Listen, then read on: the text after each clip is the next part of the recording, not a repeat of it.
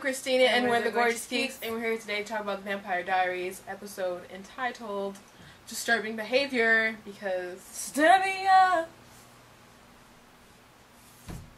well, namely because Damon was having some disturbing behavior, and maybe for some other reasons. But um, Elena was trying to, I guess, leash him, and he didn't want to be unleashed and didn't like it, and kind of acted out in certain ways. I, I think that moments like this is when the writers are like, ah, Damon's getting too nice. Is going back to being yeah. bad It, it definitely keeps us on our toes. This is like you want him to be redeemed, so it'll make sense that Elena's like with him, because it's like why would you be with someone so impulsive? But the thing is, he he is a crazy impulsive vampire in love with his brother's girl. Klaus said it the best. Yeah, he did. so um, he has to be impulsive. Just when you think he's sweet and charming, and but still has that sexy edge, he's totally still wrong for her, for so many reasons, like killing Alaric. Yeah, that was. I loved how he looked at the ring. He was like, "You're in my way." Snap, snap. And so, and no, I love the look Elena gave him. Like, what's wrong with him? Like, dude, he just killed someone. She's just like. I love how at the It's end, not that big of a deal. how at the end he was making the drink, and he's just like he just set it down like ah he's my bro, so I'm gonna make him a drink. And and when he he's like ah and he woke up, he's like that took longer than usual. And just kind of like gave him the drink like you know kind of like oh we're friends again. I love that it was, like he just expected him to get over it or like he hoped to just get over it. Well, why wouldn't they? they all get over it eventually. I guess so. he got over it the first time. Yeah. And so they all just get over it anyway. And Elena gets over stuff real fast. But you At know, she's uncomfortable and kind of freaked out when he appears in the room, like on edge, like is he about to kill someone?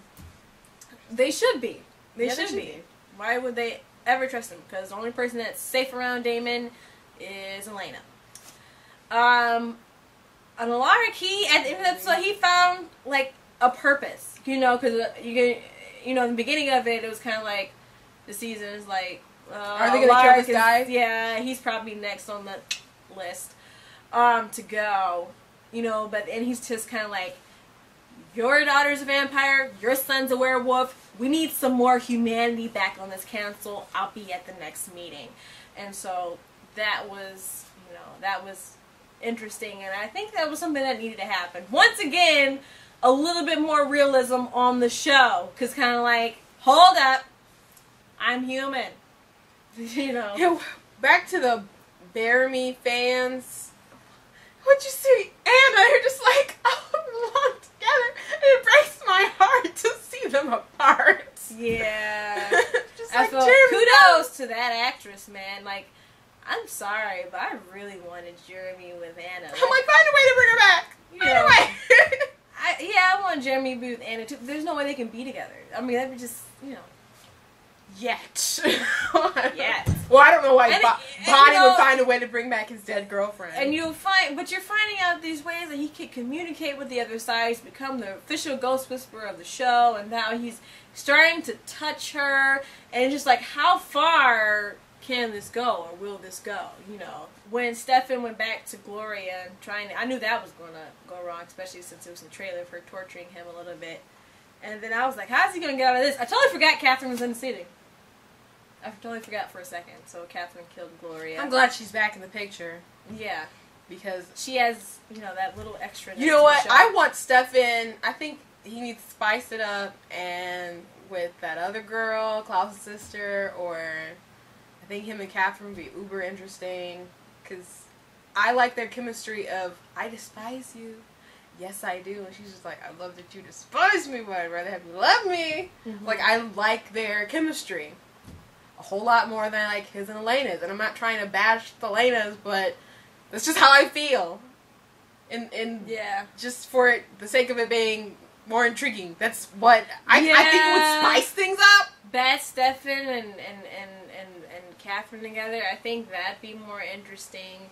As far as Elena with Damon, Even sister because he obviously liked her. Elena and Damon are together in real life. I mean, it would make sense for them to have more. They've always had more chemistry, and it makes sense that they're together. Klaus's sister, I don't know. She did kind of have an annoying moment. She's like, "I'm not a brat. Don't say I'm a brat." He's just like, "Well, time spent with you says otherwise." I love Klaus. I love Klaus. Like he's great. He's just like that. You know, it's just like him and Damon are like the comedians has become the, com- the you know the have the. Well, they said they were they were looking show. for when they're looking for Klaus, they're looking for someone who could out Damon Damon. That's what they said they were looking for. And I don't know if he's out Damon Damon. but He definitely has a similar flair that is still his own. So um Well, they, they're both cocky. Yeah But Klaus And has witty. more, more, yeah. And uh, Klaus has more reason to be cocky, you know. But Mhm. when you think that nobody around you can kill you, I mean, you know, you can joke around about different things all you want because you know. And so Klaus to me was just, uh, I just, I just love. He's just a great add to the show. I want to go back to Bonnie for a second. I was surprised that Jeremy told her. I, I, I was well, too, I, I was expecting him to eventually do it, but I didn't think it would be what is this episode four or five or. But I just didn't think it would happen because this fast. uh, it was interesting when, when uh, you know, after well, first okay, when Damon and Caroline were fighting, and he was like, "I'm stronger." She's like, "Yeah, but I'm angrier."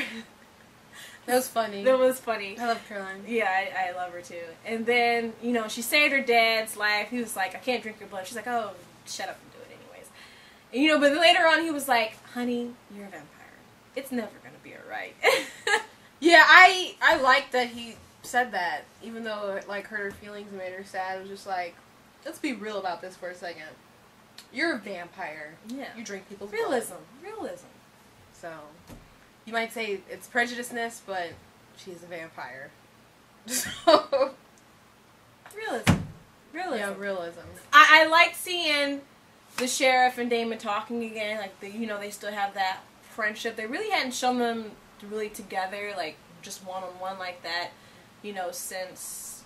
You know, Before she found out. Yeah, he was a before vampire. she found out that, well, for sure found out that Caroline was a vampire, and so it was. It's nice to know that they have that connection because Damon has very few friends in Mystic Falls, and I like that Caroline forced Elena to admit that she was attracted. yeah, see, that's one thing I like about the show is that they keep moving things along, and it's not slow paced as far as finding out stuff. And I, I that's one reason why I wasn't really surprised when Jeremy told Bonnie because they're really, you know, it's kind of like let's get some more interesting. Well, I just had a different impression because of things that I heard, but yeah.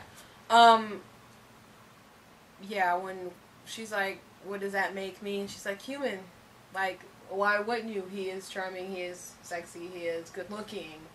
Yeah, it makes sense, but Yeah. you don't have to pine over him or anything like that, or spend so much time. Well, they're in a position where she kind of needs him, but really, she should just get over Stefan, like he said in the last episode.